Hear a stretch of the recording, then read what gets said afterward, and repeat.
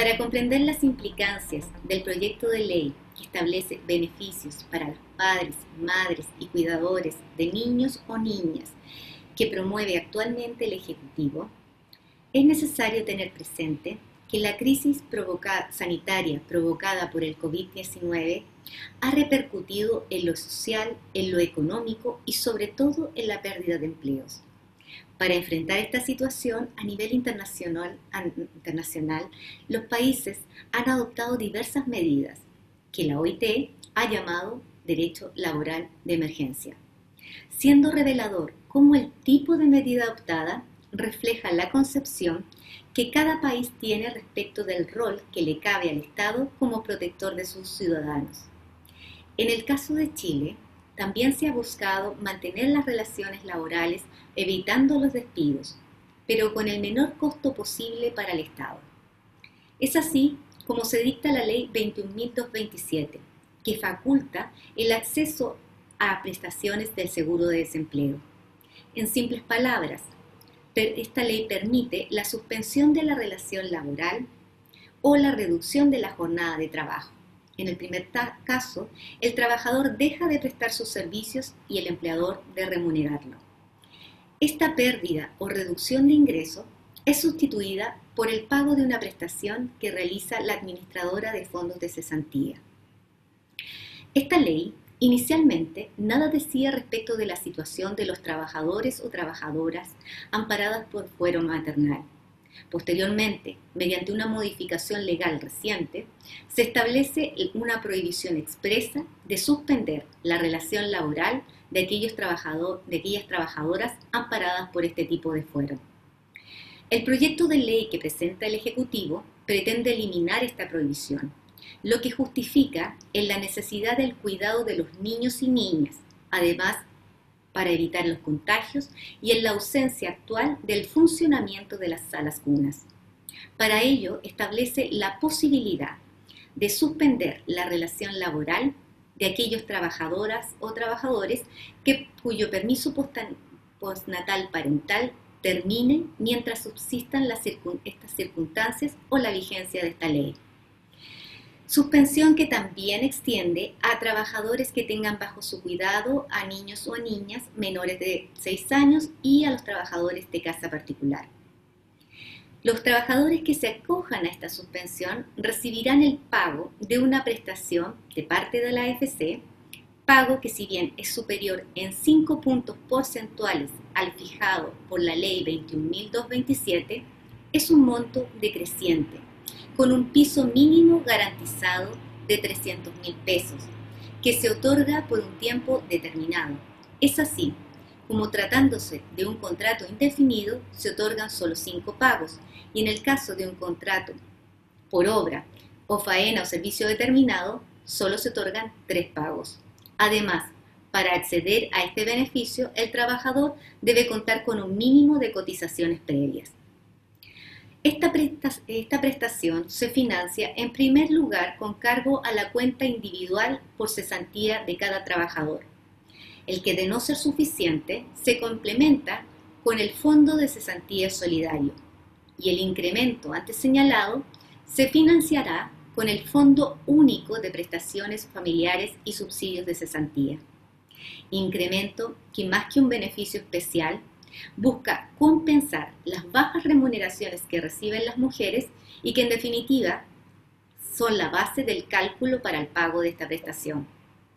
Tratándose, por último, del caso de las trabajadoras de casa particular, su situación es aún más desmejorada, ya que estos pagos los realizará la AFP y se financian con cargo a su cuenta de indemnización a todo evento, la que usualmente llamamos del 4,11%.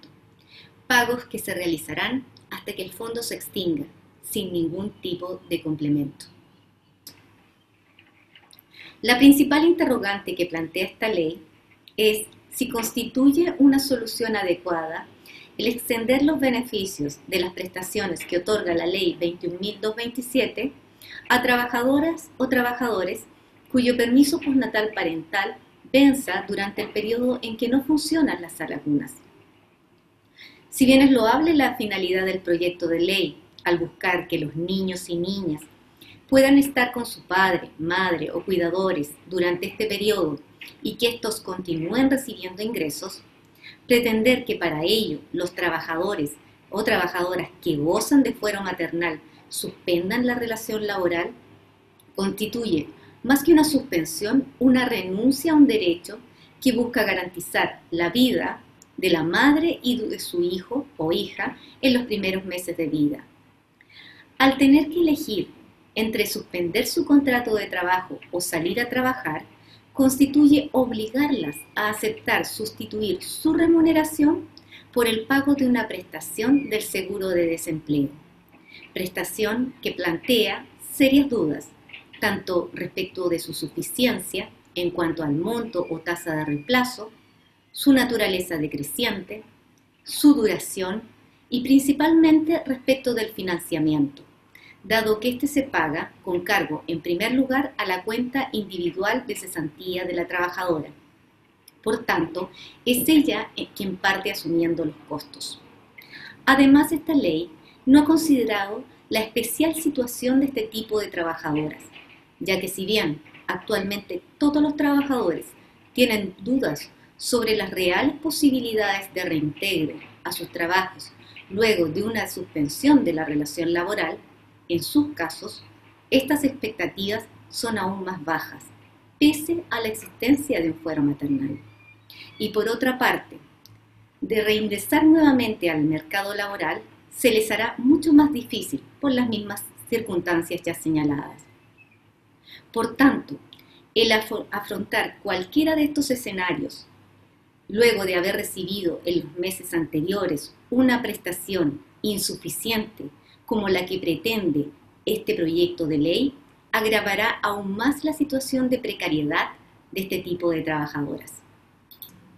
Las principales diferencias entre este proyecto de ley y el proyecto sobre postnatal de emergencia promovido por la Cámara de Diputados es que este último busca modificar de manera transitoria algunas disposiciones del Código del Trabajo durante el periodo de declaración de estado de excepción constitucional de catástrofe por calamidad pública. ¿Qué propone este, este proyecto? Propone 1. Extender el permiso prenatal a 10 semanas.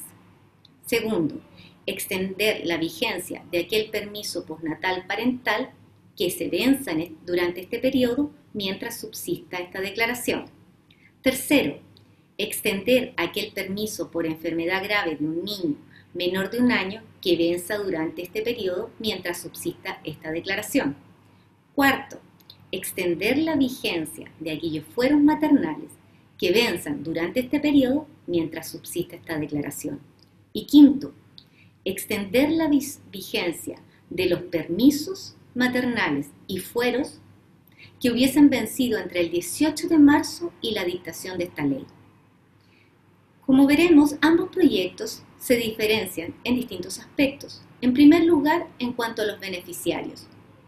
El proyecto del Ejecutivo extiende la suspensión de la relación laboral a aquellos trabajadores o trabajadores cuyo permiso postnatal parental venza durante el periodo en que no funcionen las salacunas o durante la vigencia de esa ley. Y también lo extiende a aquellos trabajadores que tienen a cargo el cuidado de niños y niñas menores de 6 años. En cambio, el proyecto de la Cámara de Diputados, por su parte, se aplica a todos aquellos trabajadores o trabajadores que entre el 18 de marzo y el término de estado de excepción constitucional hagan o hayan hecho uso de sus permisos maternales o estén o hayan estado amparados por fuero maternal. En cuanto al instrumento de protección utilizado por cada uno de estos proyectos, en el caso del Ejecutivo, utiliza la suspensión de la relación laboral.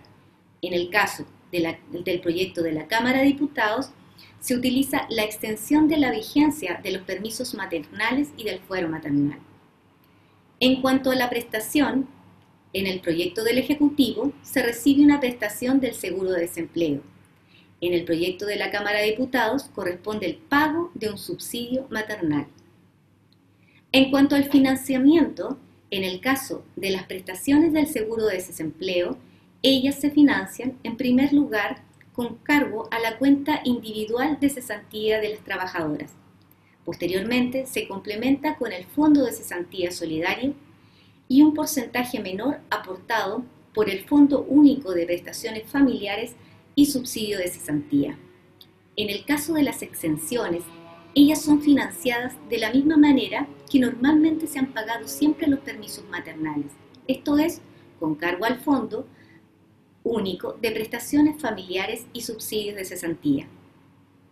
En cuanto a los efectos económicos, que viene a ser lo más relevante para un trabajador o trabajadora, en el caso de la suspensión de la relación laboral, el pago de la prestación implica una reducción progresiva y finalmente la pérdida absoluta del ingreso. En cambio, con la extensión de los permisos maternales y el fuero, los ingresos se mantienen durante todo el periodo de emergencia.